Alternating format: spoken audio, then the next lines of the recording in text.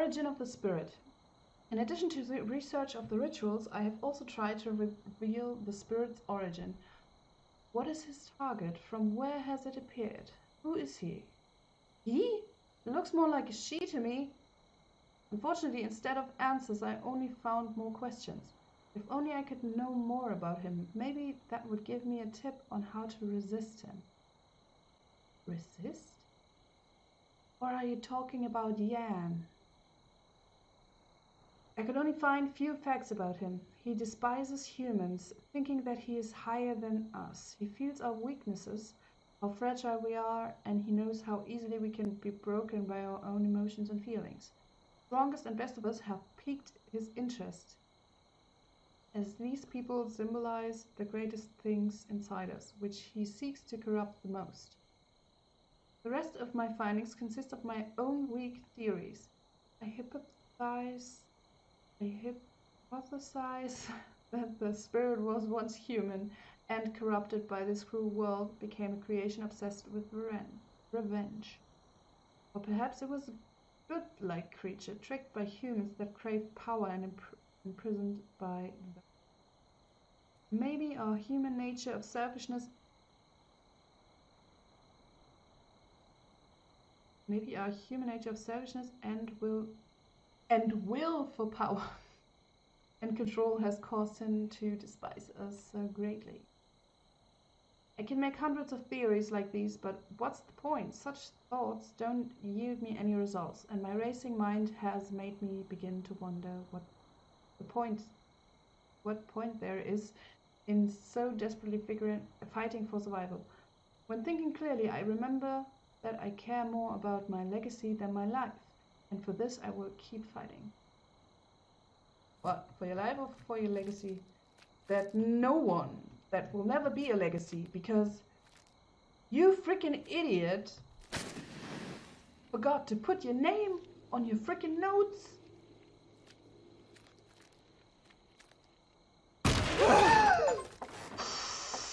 I just um, wanted to check it out. I'm sorry. I didn't mean to scare you. I know my face can be very, very scary because I don't wear makeup and shit and, and I look like hell, but, you know. Didn't have to spook, get spooked that hard. Okay, there's another one of these. I guess I have to look out for these now. In general, uh, oh fuck. That was supposed to.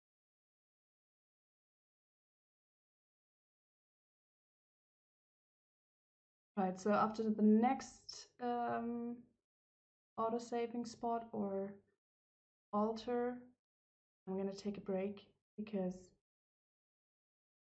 first of all, it's getting late.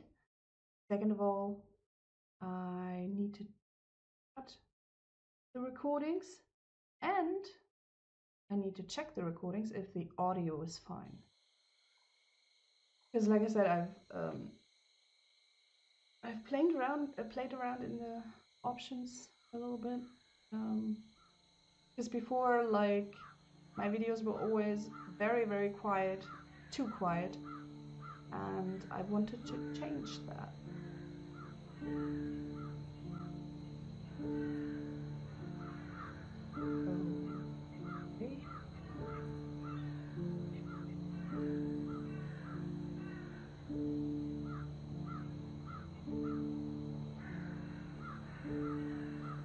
Treehouse?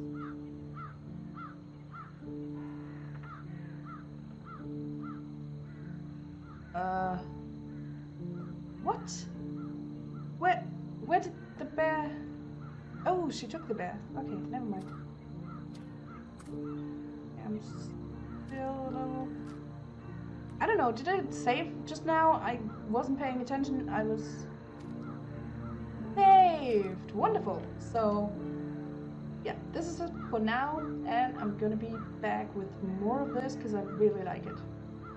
Alright, I'll see you next time. Bye! Hey guys, Mindpuke here, and welcome back to the Cursed Forest. I don't remember coming here. Like, I don't know if this is right. This is right. Didn't we just get out of a house? Or something? Maybe this is wrong. Oh! Oh, hi. Okay. I thought... Um...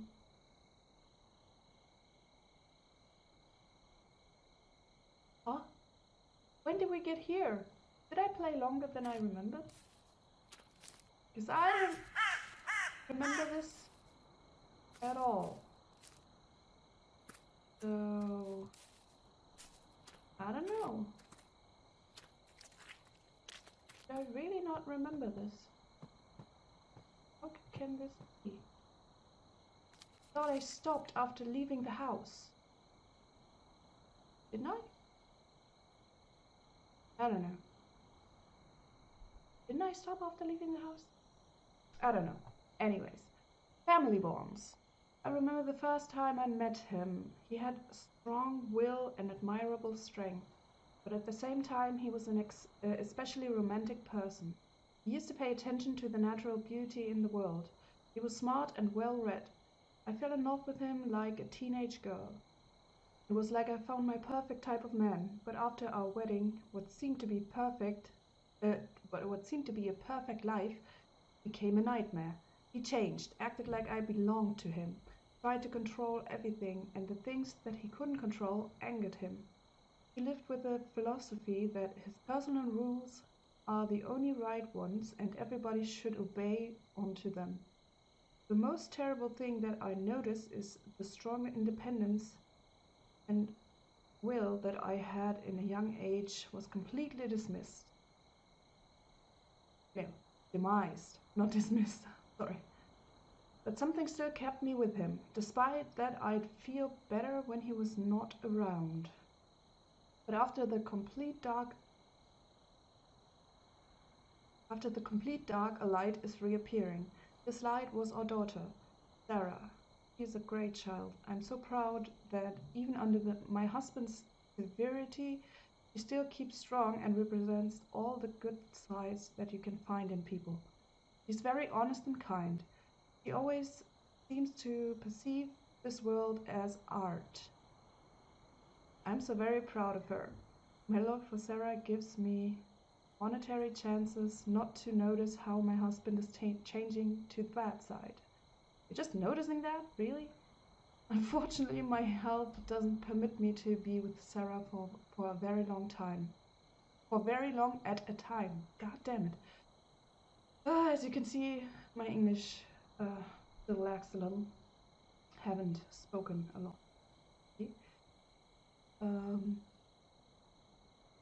as I would have wanted. All the time that's left I will use to help Sarah prepare for life when I am not around any, any longer. I hope my husband will take good care of her and make her happy. Nope, he didn't. He didn't.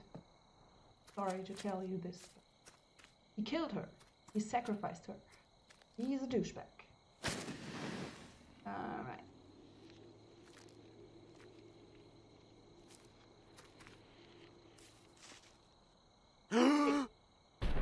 Important? Okay, it wasn't, I guess. Or maybe it is and I can go around the hole? No, it's nothing. It's just a mean trap set by the girl, I guess. Alright. So, oh, another note. Great. Oh, he's not, he's not crying anymore when he walks into the fire. That's great. I like it. Obsession and success. During my first days here, I met what remained of the new guests who visited this place before me, but their corpses didn't stay long. I don't know how they are disappearing. Maybe darkness swallows them? Or that sinister girl took them somewhere. The fact is, if you die in this place, you disappear from this world. During my research, I found that for the reverse ritual, you need to collect all parts of the sacrificed body. Searching for them was some kind of game. At first I felt like a madman searching for the remains of a dead body, but now when I look at the when I look at them inside my bag, I feel like I am a collector, finally completing his collection. The more remains I find, the more I learn about this place. It's like they guide me through the pages of their story. I think it's not a coincidence that there remain uh, remnants were in places that played a significant role in the victim's life. After that, I found a rune stone. Finding it was a really was really a headache. Also, I found out that the fire in the altars inflicts the dark girl and makes her more aggressive. My intuition inclined me to extinguish these lights to make myself more secure. Hopefully, nothing will disturb me during my preparations for the reverse ritual. So, hang on, the fire in the altars makes her more aggressive? So I shouldn't save, but that's deadly, so no, fuck that. Lately I've managed to avoid the dark girl. It's become a game where I am winning. Few pieces are left. Soon enough I will stop the curse of this forsaken forest. And, maybe, even get the opportunity to discover the sacred knowledge and power the forest's ancient civilization was keeping here. Even the thought of this makes me excited gives me the feeling of invincibility. I'm sure I'll survive. I have become a part of this place and adjusted to it. Well, good for you. I'm still glad when I'm gone, when I'm getting out of this dump. Well, actually not. Actually, it's a nice forest. If it weren't for the girl and Carl, I would really enjoy it here. I would. Honestly. Uh, watch out for traps, because that's a thing now. I guess. Jesus! Would you stop that? That is not very nice. Another trap. Okay, so the traps are another lake. Is it the same lake as before? No, there's no rock in the middle. Um. Okay, I'm going back. Sorry, didn't mean to disturb you. Can I go here, though? Cause like, looks like I can go over there. Could I? Let's go up there first. That has shadow again? What do you want? Girl? Oh, right, traps. Uh, I don't see any traps. Moment. There's one. I don't get why some of them glow and some of them don't. Weird. Oh, so I am supposed to swim? Maybe? I don't know. Well, okay, there's two of them. What the frick was that? Oh, it's another trap, you evil girl. Seriously, he's trying to kill me. I didn't do anything, I'm just trying to help her. I'm a nice person, okay? Screw you. Stupid girl. Oh, another tent. Lovely. Hey. Oh, Man on Fire put all, out all campfires in the fourth section. Okay. Okay, this is the fourth section, apparently. I didn't know that. New world is near. Last few weeks have been very rough. We started preparing for the day, the day that will change everything. Because of Yan and a few settlers that doubt my plan, ritual preparations are becoming harder. I have sent a few loyal followers to watch them and keep them on distance. Unfortunately, because of my preparations, I can't spend as much time with Sarah as I would have liked. I understand that there's no need to be sad, and I hope she does too. Sarah will not leave me. Because of this mission of the mission that Sarah's destiny has prepared for her, Sure, it was Sarah's destiny that prepared it for her, not you. Douchebag. Uh, when the ritual is complete, we will spend even less time together. But she will be happier. Mm-hmm. I can see that. Not really.